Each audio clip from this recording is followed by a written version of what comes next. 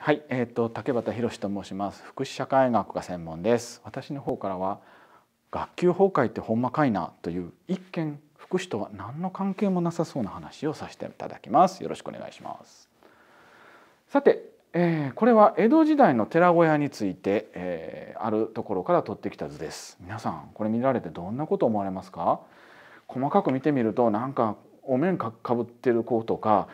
なんか上向いてる子とかうわ取っ組み合いの喧嘩してる子とか寺子屋といってもなんか皆さんがイメージしている学校と随分違う感じですよね。で江戸時代はこんな形での学びだったのがこれは、えっと、昭和11年の、えっと、伊丹小学校の授業風景これもネットからお借りしてきたんですが見てくださいこれなんとなく皆さん馴染みありますよね。先生の方を向いて前あ子供がピシッと聞いてる。さっきの寺小屋と随分学校の様子が違うように思いますよね。でこの違いって一体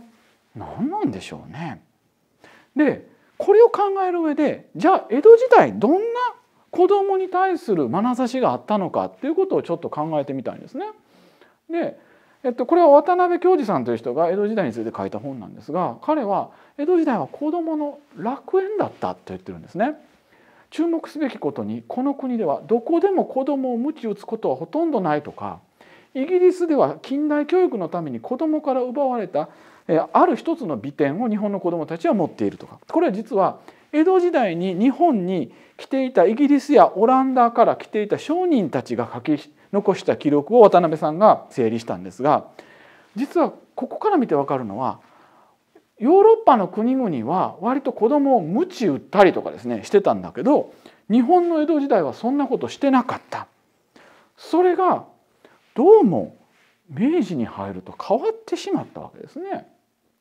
でその上で今例えば先ほどの寺子屋見てこの状態を指して今の日本なら学級崩壊というわけなんですがじゃあ学級崩壊って一体何なんだろうという定義を見てみたいと思います。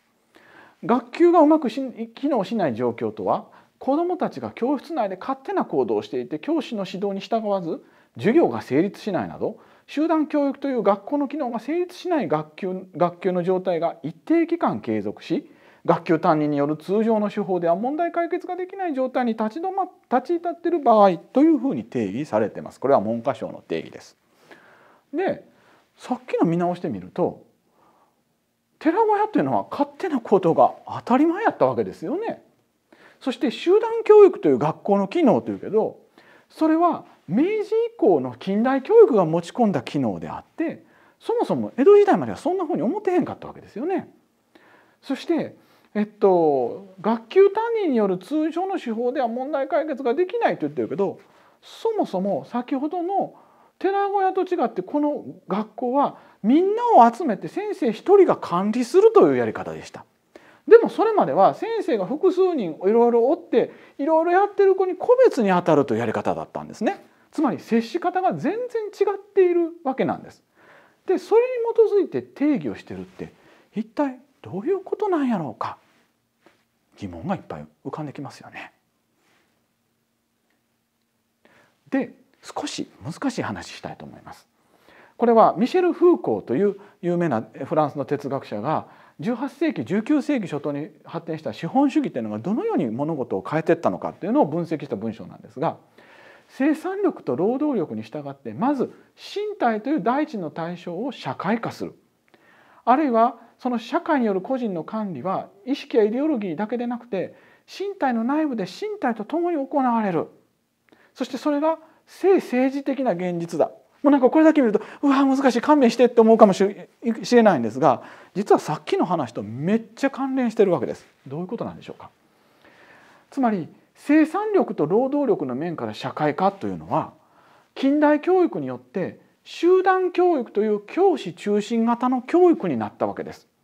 それは子供らが勝手なことをすると廊下に立たせたりビンタしたり叱りつけたりまあ今ビンタとか叱りつけたらダメなんですが私は、えー、と今46歳なんですが、えー私が小学校時代は正直ビンタとかありました。でこの性政治的な現実これが一番難しいんですが昔は寺小屋では子どもたちがわちゃわちゃするのがごく自然やったのに今大変残念ながら例えばこの寺小屋で子どもたちがこうやってわちゃわちゃしてるこういう子は今の小学校ならば学校に不適用だという形で特別支援学級に入れられたり場合によってはそこで、えっと、幼稚園の段階から精神疾患に関する薬を飲まされたりっていうふうになってしまってこのようなわちゃわちゃ性は止められてしまうかもしれないんですね。江戸時代ではごく当たり前だったことが明治時代になったらこういうビシッとした姿にならないからおかしい異常だ障害だとこういった子がラベル貼られてしまうこれって不思議なんですよね。で実は学級崩壊を問い直すことは批判的思考の重要性ということにつながってきます。それは常識とか当たり前をほんまかいなと疑う批判的思考なんです。皆さんにとっては先ほどの小学校の図がごくごく当たり前やと思っておられたんですが江戸時代と比較するとあれ？この当たり前ってほんまなんやろうか？というふうに気になりますよね。ただし批判的思考というのは